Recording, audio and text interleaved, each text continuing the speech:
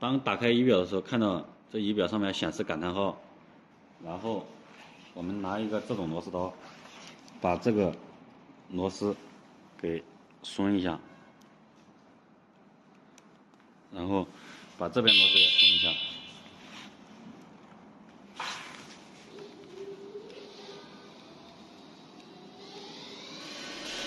然后移动这个感应感应器。